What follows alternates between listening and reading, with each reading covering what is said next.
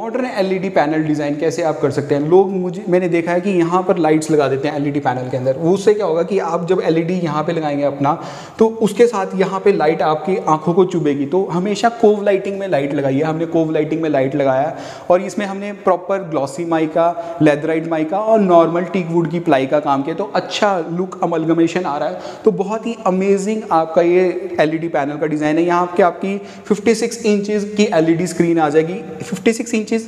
diagonally होती है ऐसे नहीं होती तो ये अच्छा व्यूज़ हैं फ्रेंड्स अगर जो ऐसे ही वीडियोस चाहते हैं तो ये सब्सक्राइब बटन को दबा दें